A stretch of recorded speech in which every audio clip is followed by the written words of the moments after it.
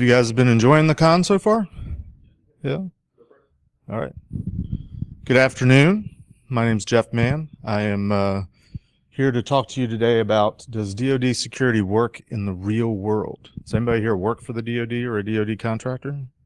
Yes, sort of. I'm sorry. You look so enthusiastic about it. Um, yeah, there's that. We'll try to keep this a little bit informal. This talk is really meant to be a discussion starter. Um, it's just some ideas that I had that I put together in a talk. Um, so feel free to interject, uh, throw things at me, agree or disagree. Um, let's start off with a quick survey. Uh, does DoD security work in the real world? Uh, first, we might want to define our terms, uh, but we'll get to that. But just right off the top of your head, who thinks yes, it does or it could work in the real world? Not DoD. private sector. Public sector, private sector. We have public and private refer to the same thing. How about no? Don't think it works in the real world. Don't be afraid. Don't be bashful. I mean, are just waiting for me to get on with what I want to say about it. Or let's get this thing over and head to the city beer hall. All right.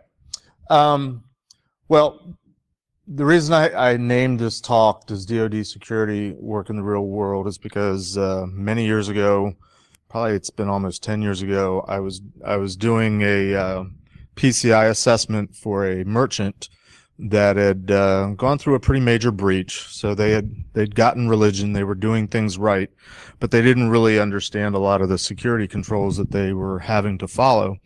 And uh, I am uh, I'm getting ahead of my slides a little bit, but I, am ex NSA and I was trained as a cryptanalyst. So when we got to the uh, to the part of PCI where it says you need to protect your data at rest, we spent an afternoon where I probably spent a, more detail than they wanted going into what are the differences between hashes and truncation and cryptography and stuff like that. They didn't really understand the basics of cryptography. So I spent a good deal of time probably geeked out on them a little bit, telling them about what this thing called encryption was. And they said to me, yeah, but we don't really need DoD level security. We just sell fill in the blank. It was sort of a department store, a women's clothing store. So that's actually stuck in my head over the last many years. I, have always remembered that conversation and I've always remembered that statement that this person said, yeah, we don't really need DOD's level security. So hold that thought. Um, as I said, I, I started uh, in the Department of Defense. Um, this is me, by the way. My name is Jeff Man. I am one of the co-hosts in Security Weekly. Did anybody have a chance to get recorded? You, but you went over to the booth. Did anybody play Hacker Movie Trivia? No? I think they're packing up now. You missed your chance. Um, I was a QSA. I was a pen tester at NSA. I was a cryptanalyst at NSA. If you want to get in touch with me, it's jeff at securityweekly.net, and that's my Twitter handle. Um, I spent about 13 years total in the Department of Defense, and I've been out of there in the private public sector for uh, a little over 20 years. And uh, somewhere along the line, I just got into doing PCI and ended up doing PCI as a QSA for 10 years. Um, last couple years, I was working for a a software company, a, a, security company, and they had me get into the, doing this whole evangelism, thought leadership, go out and do public speaking thing. And uh, I've kind of kept doing that. I'm no longer with that company, but uh, people seem to enjoy my talks. They like to hear the history. I'm a dinosaur. Uh, I talk a little bit about ancient history in terms of security, which you're going to get a little bit of today. And uh, yeah, so that's me. Uh, just a little uh, story about NSA. Um, last early last year, I believe, a, a, book was published called Dark Territory: The Secret History of the Cyber War by Fred Kaplan. Anybody heard of it or read it? Got one person. Um, you'll notice chapter four is entitled Eligible Receiver. And in that chapter, there's a paragraph that states, and I'll read it to you because I like to do it dramatically. Uh, the NSA had a similar group called the Red Team. It was part of the Information Assurance Directorate formerly called the Information Security Directorate. the defensive side of NSA, stationed in FANX, the building out near Friendship Airport. During its most sensitive drills, the red team worked out of a chamber called the Pit, which was so secret that few people at NSA knew it existed, and even they couldn't enter without first passing through two combination locked doors. So, that sounds very dramatic, and it's probably 90% true. Um, I happened to be part of the first red team at NSA, and we worked in an office. We had desks and cubicles, and we were trying to live the hacker culture. So we nicknamed our office the Pit, and somehow that grew into this legend. Um, but uh, this is the uh, FANX complex, which is really F-A-N-X. They spelled it E-X in the book, so it was a little bit off. Uh, has anybody ever flown into or out of BWI Airport, Baltimore, Maryland? Yes, no, maybe. If if you have, if you ever do, this the road at the top there is the road that just goes right into the terminal. So you pass all these buildings on the left side. That's FANX three, and in that corner of the building is where the pit actually was. So it really existed. It was just our office. We were a bunch of guys trying to be cool and you know talk hacker speak and live the hacker culture, and somehow that morphed into legend. So for what it's worth. Um, this woman, Becky Bace, uh, she was one of my mentors at NSA. She actually just passed away this year rather suddenly back in March, I believe it was. Um, she's, she was really one of the pioneers of InfoSec, especially out in the private sector. She, she helped a lot of companies get their start. She, she helped, uh, not just necessarily investing in them, but believing in them. Uh, especially women in the industry. She she uh, mentored and helped a lot of people. Uh, and I've been dedicating my talks this year in her memory. We literally did call her mom. She was she was sort of our den mother in the pit. And I actually found out uh, in in going to a couple memorial services for her, I found out even more so how she was sort of behind the scenes, uh, convincing senior management that it was okay that NSA had a, some guys doing this hacking pen testing thing. Um, so she's in large ways responsible for a lot of my career. So this is dedicated to Becky. Um, my career actually started back in 1984. It was actually before I went to NSA. Um, but we used to have t-shirts that had that on it. Um, my first job with the Department of Defense was with the Navy. And uh, it was this place called Naval Surface Weapons Center. And uh, I was a summer intern and I had this really cool job. I got hired by a physicist that was working in anti-submarine warfare, and uh, he had this filing cabinet, this locking safe filled with about 20, 25 years worth of research material that he had collected uh, during the course of his career and he had been able to get some money together and bought this newfangled thing called a desktop PC and some database programming software. And so my job for the summer was to kind of build a rudimentary database, play around with the computer, go through the safe, look at all the documents, and try to come up with some sort of searchable database. Um, when I started, he was trying to describe to me what anti-submarine warfare was, and he said, "Well, yeah, there's this book that came out recently, and it explains it as well as I could. So the first week of my job with the government was I got to sit and read this book, The Hunt for Red October. I thought that was pretty cool. Um, so my earliest lesson in terms of security working for the DoD actually happened on this summer job because I came in one morning and uh, opened up the safe and there was a pink slip in the in the drawer that had the the the handle on it and it said come see us in the security office. So it turns out that i had uh, left the office the night before. I guess i was the last one out and i had left the safe open. And i'm a you know young kid college student and i'm thinking well what's the big deal? You know so i left the safe open. Um, we're in this building that's surrounded by barbed wire fences it's like this whole campus you know people just can't get in off the street and even if you do get into the building, you have to get past a security desk. There's guards, there's turnstiles. You have to have a badge. And even the office that I was in had a, a lock on it. So not, you know, even if you were in the building, you couldn't get into the office. And they even had security guards that would roam the whole, the halls at night and obviously check all the offices and try all the safes to make sure that they were locked. So uh, you know, I was kind of young and naive, but I thought, gee, you know, there's all these different layers of protection. What's the big deal if I just left the safe unlocked? Um, my boss was a little bit upset at me, but we got through it. I, I got written up, and I think something you know went into his record as well because he's the one that had hired me. Um, the second time I did it later on, uh, he was apoplectic, and uh, and what happened the second time was I think I had closed the safe and spun the dial, but I don't know if you've ever participated in any lock picking or seen anybody trying to do safe cracking type of exercises. Sometimes when you're spinning those dials, you have to spin it a couple times to get all the cylinders to fall. And apparently a lot of people would do were lazy and they would do a quarter turn and it would appear to be locked, but they could come in in the morning, do the quarter turn back. Well, the guards knew all the tricks. So I got written up a second time. I don't think that was my intent. I think I just had spun it and didn't know you had to spin it a couple times. But that was my first experience in what I would call data security. This idea that, uh, I broke a rule, I broke a process. So let's keep that in the back of our, our minds. We'll, we'll, get back to that in a little little bit. So moving on to the question of what is DoD level security. Um, in my travels, especially the last couple of years, and even this year, talking, you know, giving this talk, um, I've asked people what they thought, what their thoughts are. I've asked for impressions, and I get this idea, and it, this even goes back to that guy that said, "Yeah, we don't need DoD level security." I get the impression that people think DoD level security is this ultra high level, you know, to the nth degree of security.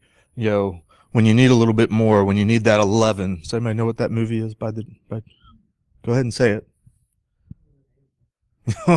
but you remember the movie. Yeah. What's the movie? If you give up, I'll tell you it's Spinal Tap. Or I guess technically the movie is We Are Spinal Tap. I think it's the name of the movie. But I think that's a lot of people's impression. You know, DoD security. It's like it's you know no holds barred. You know, every, you get to buy one of everything. You've got unlimited budget, unlimited resources, so you get to pack everything in. Um, and certainly in my career, uh, when I worked for the DoD, there was lots of different aspects to security that I learned about. And I just went out and just tried to find, you know, some of these, tried to remember some of them. There's some new ones since I've been around, but, uh, you know, all these things trans, these are all abbreviations, communication security, ComSec, transmission security, TransSec. InfoSec is information security, OPSEC is operational security, EMSEC is emanation security, and so on and so forth uh, signals intelligence, satellite intelligence, communications intelligence. It goes on and on and on. There was lots of different disciplines. There was lots of different aspects to security. Uh, and this is just scratching the surface. There, you know, there, there's more today, especially as more technology comes around. You got to have a, a, a, new name for the discipline that, that, that, approaches the security of whatever the technology is. Um, but as I as I reflected on uh, you know what makes DoD level security different or what makes it stand out to me one of the things that really stood out to me going back a little bit to my early experiences when I first started with the DoD and especially when I started working at NSA which was over 20 years ago the whole organization the whole company if you will the business was security. Everybody understood security. Everybody understood their role. Uh, everybody understood their part. And and everybody sort of knew the mission if if you were. And the mission was in many cases security. Um, you guys have probably heard of or seen some form of a basic risk equation.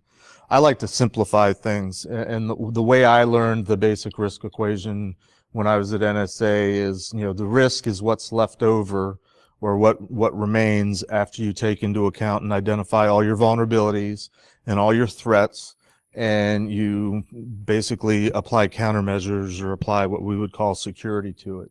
Vulnerabilities being weaknesses. I think most of us are, are familiar somewhat with that term because that's sort of what this industry's been built on. Um, and it can be bugs, it can be misconfigurations, it can also be failures in processes. Threats are the bad guys the way I learned it. Um, threats very often these days are are expressed as the the methods, the ways that the bad guys are getting in, or the the attacks that they're launching. So there's variations, and then countermeasures. I just think of it's the security. Um, what's interesting to me about the basic risk equation is I think about it in the DoD is uh, when you think about the risk that you're talking about, the risk is really, if you think about it, human life. Uh, you know, it's our national security, it's our armed forces, it's our military, it's our uh, you know State Department workers and and and uh, and anybody that's working overseas on behalf of the the country, and we even protect our citizens when they're travelers and all that type of stuff. But it all boils down to one way, shape, or form: human life. Um, some of the things that I that I noticed that were different about the DoD that I don't see so much in the in the quote unquote real world these days is this concept of data security. We talk about data security, but in my years of going to companies, and I've been to hundreds of companies as a consultant, as a QSA, um, the data classification that is talked about in the commercial world is basically we don't care about it. It's it's unclassified, or we do care about it. So it's company sensitive, company confidential. What we don't do a whole lot in the in the commercial world, in the real world, is try to come up with different types of classifications for the different types of data. Whereas when I was in working for the DoD, it was it was ingrained in us that there was different levels of classification, and that uh, the reason that you protect data, uh, and this is sort of classic, most people know these things, the idea of confidentiality, integrity, and availability.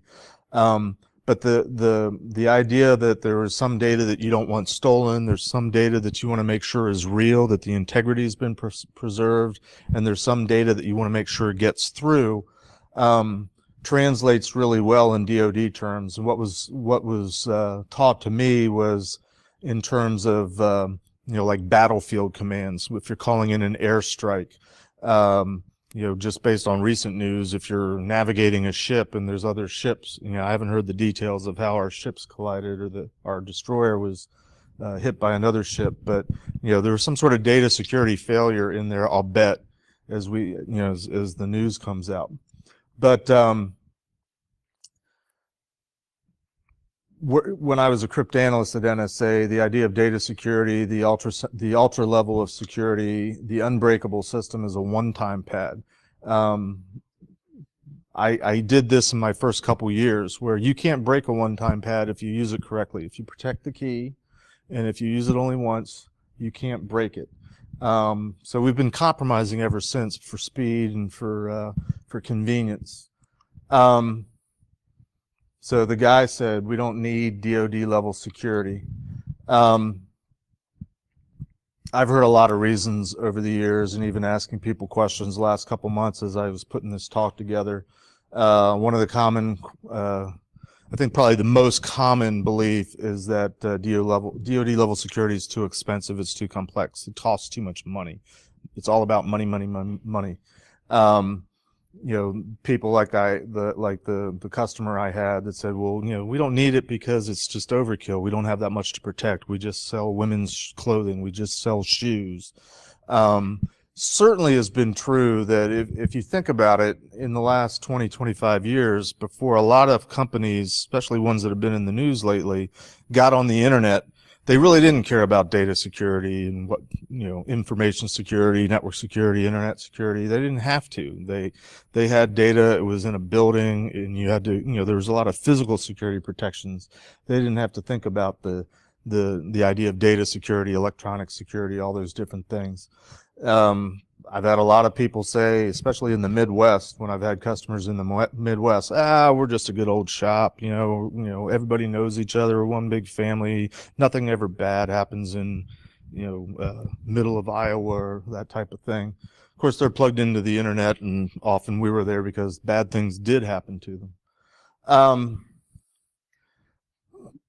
I, I have trouble keeping up, keeping this slide current, but Every time I hear of a major breach in the news, especially in the last couple words, these words keep coming back in my head. We don't need DoD level security, and I keep thinking, yeah, you really do.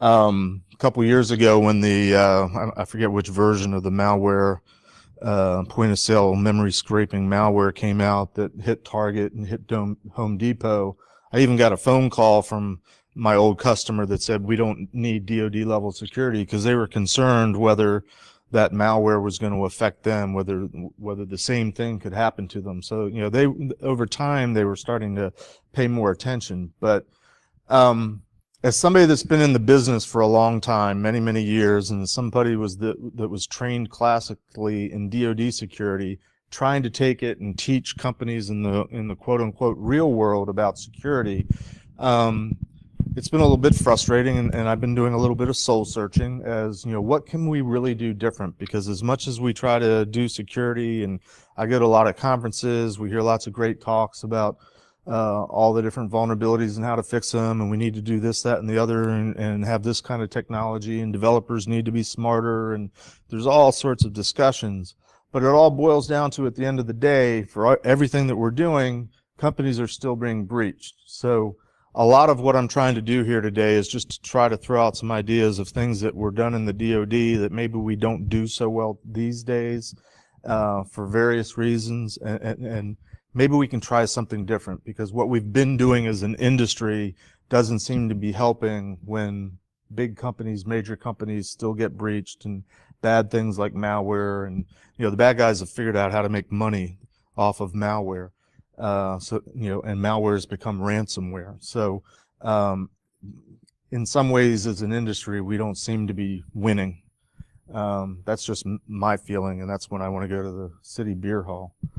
Um, in my experience, you know, th there's probably a hundred answers for this, but what makes a network insecure? I think it's it's partially lack of understanding, the lack of understanding of what security is holistically when you think of it as data security rather than uh, network security or uh, internet security. Um, certainly there's a lack of uh, very often, and I've been to companies of all sizes, there's, there's lack of institutional knowledge, there's a lack of understanding of security. Um, there's a lack of a commitment to security. Very often there's a, there's, uh, even when I was doing PCI, there was a lot of companies that really didn't understand what the point was. You know, I know it's PCI, I know it's compliance, I know it has something to do with credit cards, but they didn't really understand what the what they were trying to do, which was to secure the credit card data, secure their customer data, and and secure it everywhere it was. Of course, they didn't know everywhere it was, so they didn't they they had this lack of fundamental understanding, which in a traditional DoD sense, uh, that understanding comes from very regimented policies and procedures, um, among other things. Uh, I think our industry hasn't really helped a whole lot because I remember in the early days of being in the private sector, telling companies, well, you need to build a program, you need to have a policy, it all needs to be written down, you need to have standards for everything you're doing. And I'm paraphrasing, but too often it was, yeah, yeah, yeah, yeah. What do I need to buy? How much does it cost? And when do I get that machine with the blinky lights? And where do I put it? So there, there's, there just seems to be this, while, while it would be nice to do all that other stuff, it's very important. We just need to drop some sort of technology in so we say we're good. In the early days, it was we need a firewall, and then it was then it was we needed an IDS system, and then it was this, and then it was that. And this whole industry seems to be built around coming up with new technologies to solve these new problems. And if the salespeople are really good, they convince you. And I'm not berating anyone in particular um, deriding anyone in particular, but um, you know, vendors are trying to sell their stuff, and and it's it's solving a problem. But you know, nowadays it seems like there's thousands of problems, and everyone needs a technology, and there's probably six or eight or a dozen or twenty different solutions for each problem. I don't know how sometimes anybody makes sense of it. Um, little bit of a personal thing, but uh, in fact, I saw there was a, a, talk earlier today. I don't know if any of you guys went to it. Somebody was talking about how penetration testing is dead. I certainly think there's an overemphasis on it. Um, and I think there's an overemphasis on vulnerabilities. If you keep in mind that, that risk equation, vulnerability is just one element of it. Um, the old I hear too many people talking about risk and threats and they use the terms interchangeably. But again, if you remember the equation, a threat is a variable that helps you determine what your risk is. So here's some ideas uh, for what they're worth, things that I'm thinking about. Maybe we should look at again, or maybe we should reconsider, and maybe there's some way to apply this to our world today, and maybe maybe doing this will help make a difference.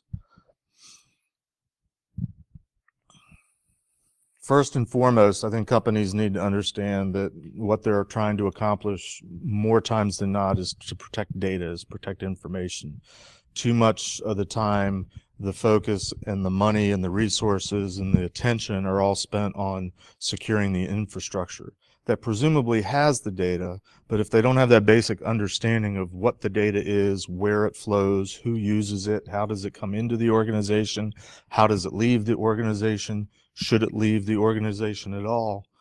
Um, if you had taken the uh, hacker trivia, one of the questions was, uh, uh, you know, it's, you know, a movie quote and what movie is it from? So one of the quotes is, um, we're at war, friend. I'm paraphrasing. I don't have it exactly memorized. We're in a war, friend, and the war is not about who has the most bullets. It's how, about who controls the information.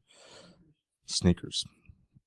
And they're actually sitting, I'm sure it wasn't real, it was a mock-up, but they're actually sitting on a Cray supercomputer, um, which used to be the supercomputer of choice when I was in the DoD, and now there's one in the NSA Cryptologic Museum if you ever make it to Maryland you can see one of those for real.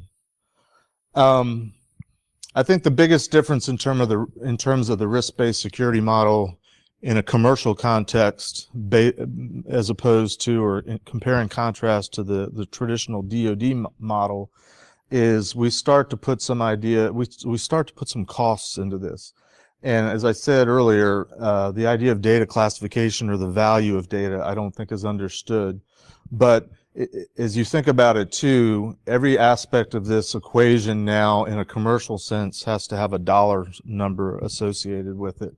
You know, the vulnerabilities that exist and the money you spend to try to either prevent them from happening or detect them to, to figure out something, you know, whatever it is you're doing to figure out what's, what, what the problems are, whether you're monitoring, whether you're doing any types of scanning, that all costs money. Identifying the threats, that's kind of a new thing. Threats kind of the new some companies are out there talking about threat detection and threat identification and and this, that, and the other threat. Countermeasures is again traditionally all the solutions you put in place. But overall, if you think about the risk model in a commercial sense, the risk that we're talking about, whatever that value is at the end of the day, is really a dollar figure. Companies that are, you know, commercial businesses, they're in it to make money. Um, they've got profit and loss statements. They have they have to have a budget. They have to decide how much they wanted to spend to do all the different security things to lower the risk. So it all becomes a dollar figure. Whereas if you recall the DoD thing, the risk is really human life. I actually acknowledge that's probably a big, big difference, and I'm not sure it's ultimately surmountable. But my belief is uh, if you at least have a better understanding of what all the component parts are, hopefully you're as a as a company as an organization you're making a more informed uh, you know spending decision before you invest in all those different solutions that are out there. And maybe you'll determine that you need to invest more in training for your people or uh, maybe you'll break down and do the the policy and the processes and, and and the documentation that helps drive a lot of these other decisions.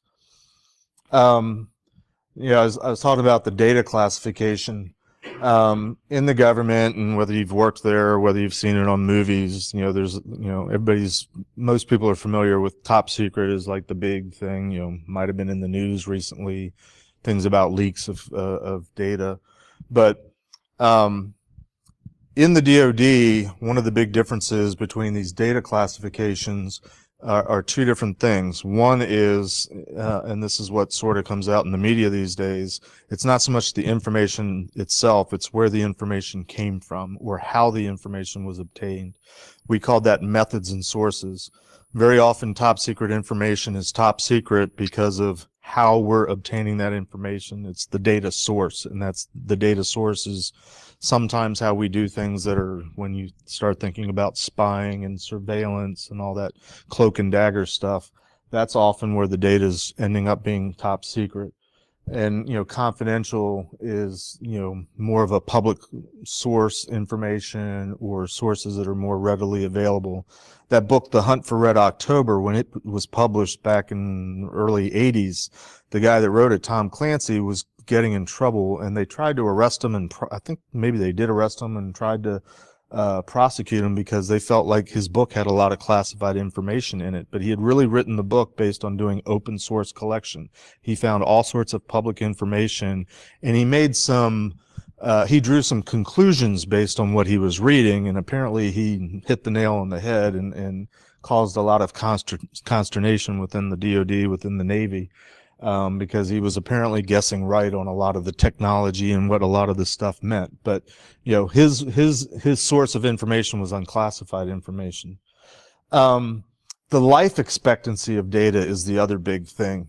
And what the, what was how this was explained to me early on was if you think of a battlefield and you know you've probably seen a war movie here or there where there's a, a, platoon or a group of soldiers and they're pinned down because there's an enemy machine gun nest or they're getting uh, hit from uh, mortar fire or artillery. So they call in an airstrike um, it's really, really extremely important that that information that they're calling in is accurate. You know, they're calling in grid coordinates, latitude and longitude. Really, really important that latitude and longitude is real. It's them calling it in. It's accurate, and they're dropping the bombs on the bad guys. Um, so extremely sensitive. But after the airstrike ha- has happened in the next 15, 20 minutes, 30 minutes, or whatever, that information is not really that valuable anymore. So uh, life expect- expectancy of data in the commercial world, especially like in PCI, credit card information was considered financial information. Most most companies I worked with kept all their financial records for at least seven years, so they were storing years and years and years worth of credit card data, full uh, you know uh transaction data from their sales records.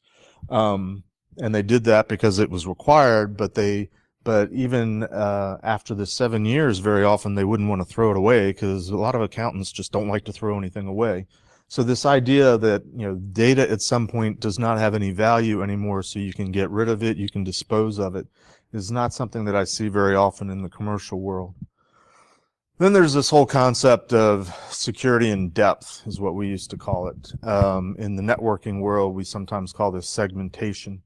Uh, there's other names for it, but uh, not a new concept. This is an aerial photo of a of a uh, of a town or a city that's I believe it's in Italy, and it was built in the medieval times, so 14, 1500s, and you can kind of imagine where the whoever the lord of the manor was would be if there was ever any kind of an attack. And, and you know, so the perimeter, sometimes it's uh, moats, sometimes it's trenches and ditches and roads, but know, I think most people sort of understand the more valuable information you put it deeper in. Um, and we had this concept uh, within the DoD, uh, but even before the whole networking concept, one of the concepts of protecting data and protecting information was not necessarily to provide ultimate protection. You can't ever get to it ever, but to make it harder for the adversary to get at it, make them go through hoops, make them go through layers. We've done that a little bit in the networking world. Um, unfortunately, the bad guys they they too often find shortcuts and workarounds. But the, but even then, the the idea of data isolation or, or, or protecting the data and making it harder. Um, what I see is still we try to protect the the the, the network. We try to protect all the technology and we think we have to do it to the same degree wherever it is. And i think that's not practical and i think most people if they sat down and thought about it would acknowledge it's just not practical to protect everything at the same level. There have to be decisions made there have to be trade-offs there needs to be isolation.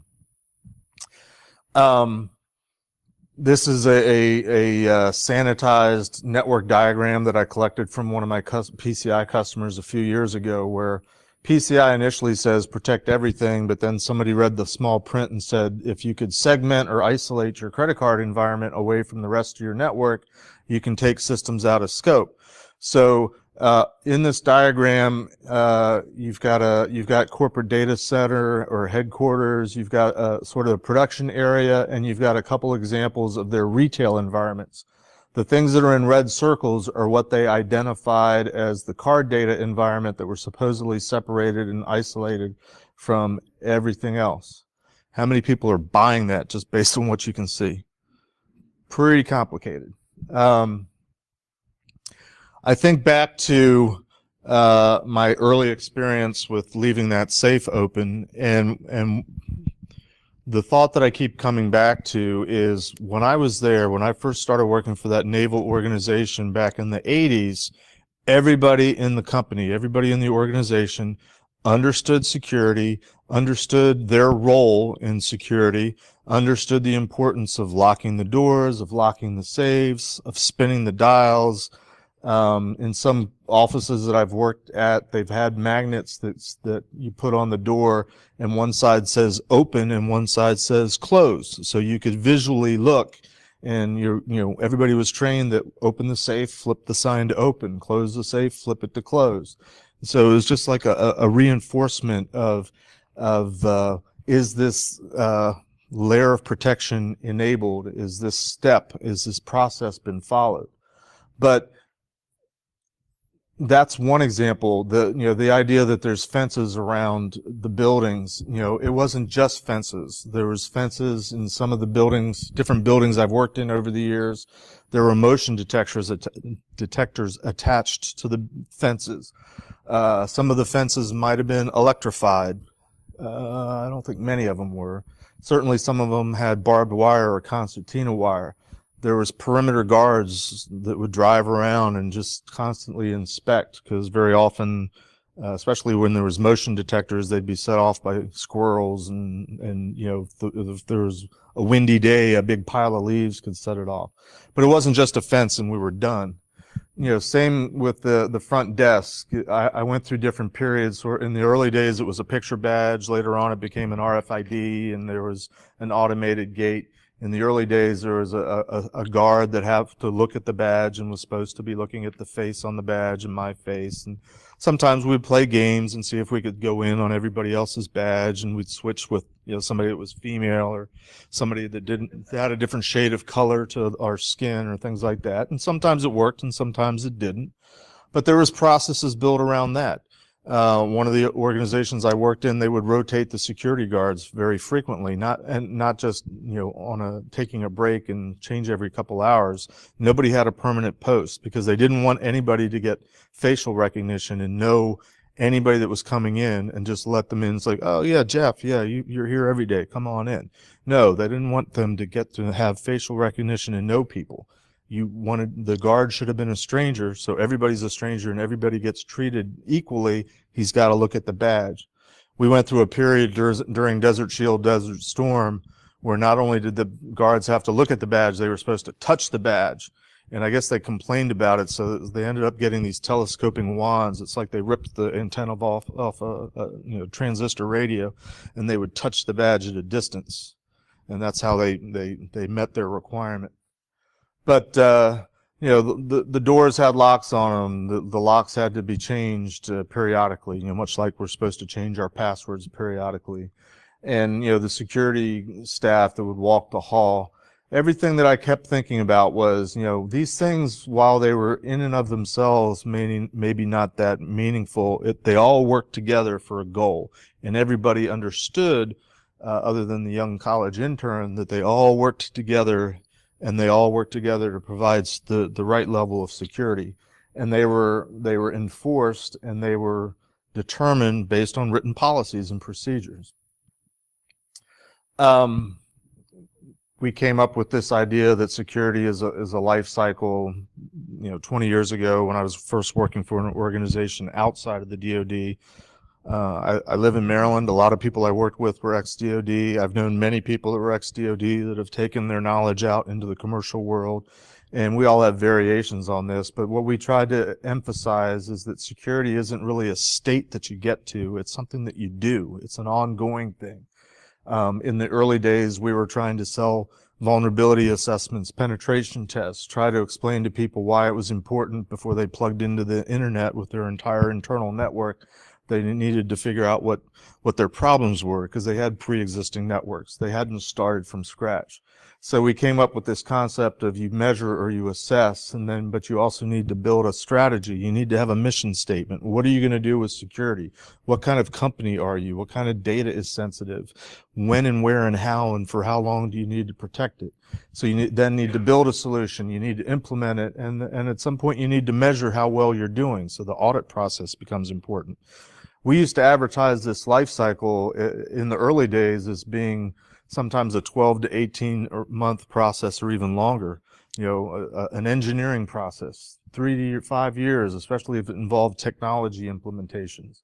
Nowadays, this life cycle can uh, come full circle sometimes in weeks, sometimes it seems like in days, depending on what the threats are, depending on what's happening in terms of technology, depending on what's happening in the, in terms of the company mission.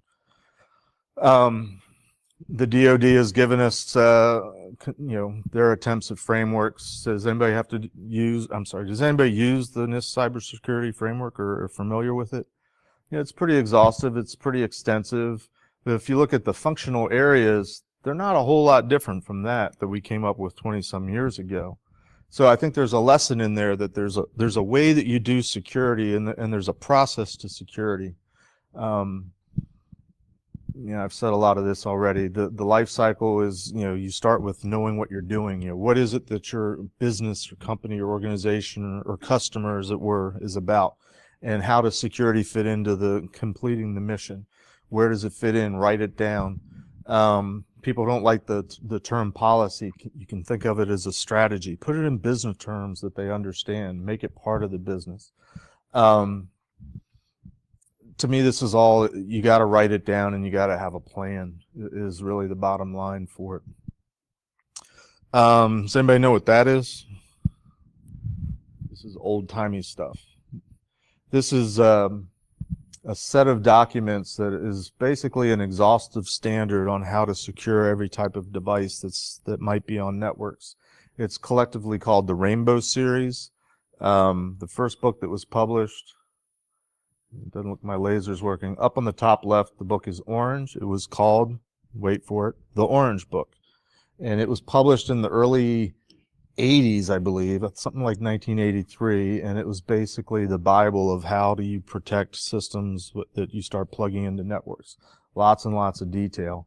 Um, the second book that was published was basically how do you interpret the Orange Book. It was about twice as big, twice as thick as the Orange Book, and you can see it's gone on from there. Um, and while that might seem kind of silly, I think a lot of times I talk to people and they think the DoD or the, the government goes overboard in terms of process and documentation. But I saw this not too long ago when I was putting this talk together. Some and it's hard to read on the big screen, but if you can remember the name of it, CISO Mind Map, you can Google it, and it's it's pretty large format. You can read at it but it, it, tries to break up everything that a CISO that's in charge of security for an organization is supposed to be aware of and supposed to know about, kind of breaks it up into various disciplines, which are sort of the darker boxes, and within the dark boxes, there's these sub-disciplines.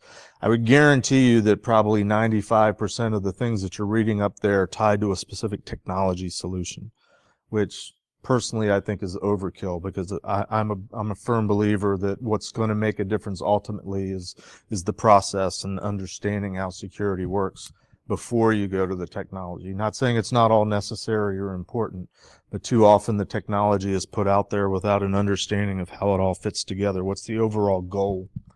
This is another example uh, similar where somebody tried to, to, to identify and cluster all the different domains that fit under this thing that's called that word up there that I refuse to say. Um, you know, there's a lot of stuff up there. Um, it's complicated.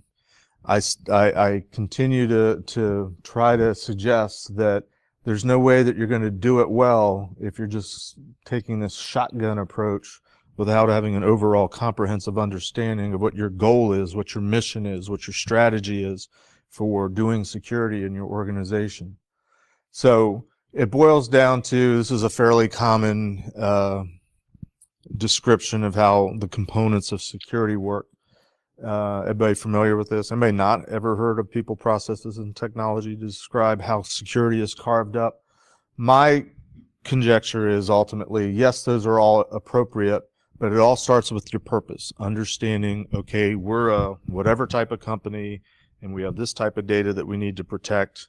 And not only this type of data but four different types of data whether it's uh, you know confidential research information for the company because the company builds something or it's employee information or it's the information that's uh, uh, involved in the the business dealings of the company mergers and acquisitions or even what they're what you're charging to your various customers if you're like a wholesaler or it's your customer information there's different types of information that need to be protected in different ways for different amounts of time and there is more and less sensitive data.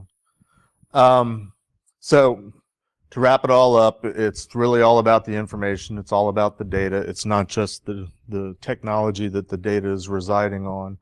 Um, technology to me isn't really ever the solution, never will be. And more and more it's the problem is there's more and more technology out there that for every problem that is solved, it seems like a new problem is introduced because of the capabilities or features of the new technology. Um, security is something you do. I, I, like to say security is a verb. I didn't mention that word at all. And uh, at the bottom, the bottom line for me, what I can do as an aging veteran is to just try to uh, share my knowledge and try to teach people as much as possible.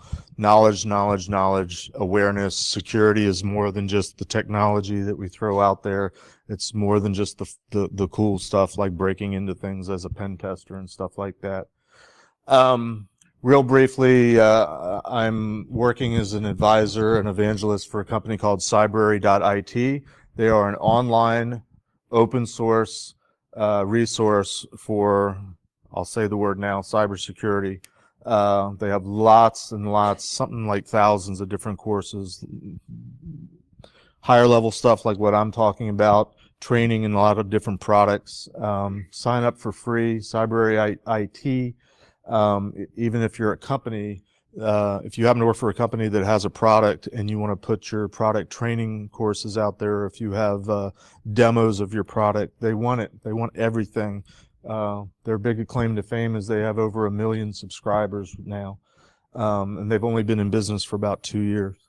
So there's a million people that are that are taking the the uh, courses. They offer offer various micro certifications. There's some stuff that you have to pay for if it's like pre, you know, one of the industry certifications. But probably 90, 95 percent of the material is available online all the time for free. And if you go out there, I've even got a course out there now. I teach a course on uh, learning effective communication skills that I call the art of the Jedi mind trick. I have no idea what we're doing on time. Does anybody have any questions, comments? Does what I say make sense? That we need to do something different? Throw eggs at me. Disagree with me. I don't know that it ultimately works. Or should we head to the city beer place? Oh, we have to have closing ceremony. Any questions, comments? Am I going to finish it? Really? I did not know that. I.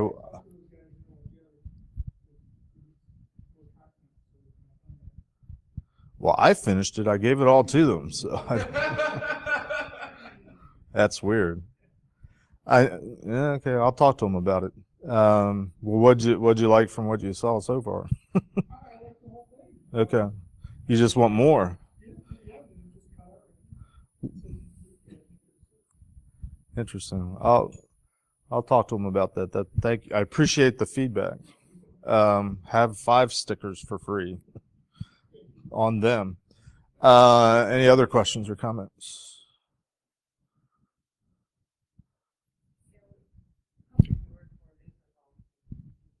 Okay.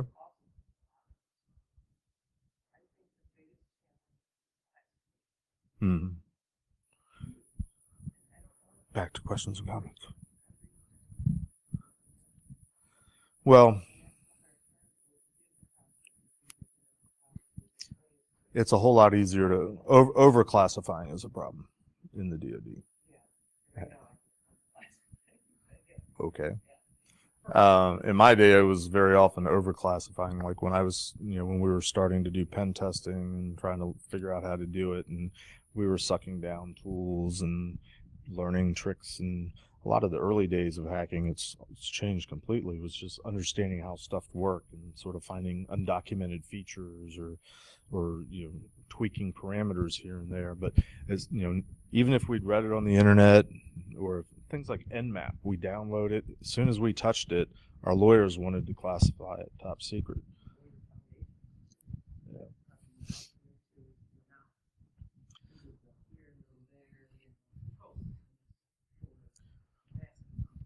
I gave this talk uh, earlier this year to an ISC squared meeting in Northern Virginia, and uh, so there's a lot of DoD contractors or you know, working directly or indirectly. And um, there, somebody commented that uh, the DoD now is doesn't have all this institutional knowledge anymore. That they go out to private industry to try to learn how to do security, which I thought was ironic. I was at a conference this past week and I met a guy that works at NSA and he does red teaming for him. And he said he had just started an assignment in, out in the commercial world to like a six month tour with a commercial company to learn how they do security. I'm like, wow, that's really sad if you knew what I was doing this talk about these days. But it is what it is. I mean, when I worked there, there was decades of institutional knowledge. Security was something that evolved, and it was it was we used to call it a game of cat and mouse. You know, we figured out how to do something. The bad guy figured out how to defeat it. We figured out how to fool them and, and hide something. Eventually, they'd figure out how to defeat it, and it went on and on and on that I don't think that's changed. I mean, I don't think we ever get to the point where okay, we're secure, we're impenetrable. But a lot of people think that's what security means. I don't know. If you're a vendor, you just keep making money as long as you get a product that sells, but I think there's a lot of I think there's a lot of burnout out, out in the real world of companies that are tired of spending the millions of dollars and they get breached anyway. Tens of millions of dollars. Well, that well, that's the whole thing we don't even talk about. If you're targeted, give up.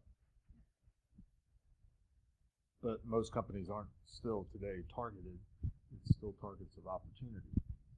Target was a target of opportunity. Home Depot was a target of opportunity. Any other comments?